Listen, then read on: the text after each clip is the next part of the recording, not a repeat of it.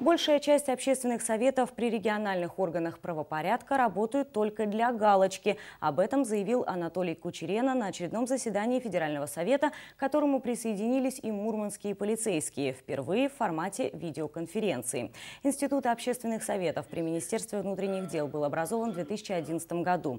Он должен был помочь договориться между собой представителям власти, общественникам и простым гражданам по вопросам деятельности российских полицейских. Однако спустя два года стало стало ясно, что не все написанное на бумаге выполняется охотно.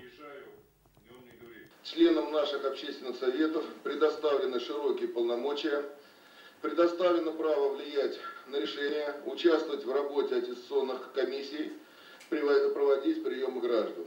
Однако, к сожалению, как наших отдельных руководителей, так и отдельных членов общественных советов устраивают, что эти полномочия остаются только на бумаге.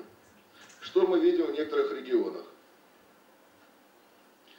Четыре заседания Совета в год, мероприятия, не имеющие никакого практического эффекта, слабое освещение на работы в средствах массовой информации.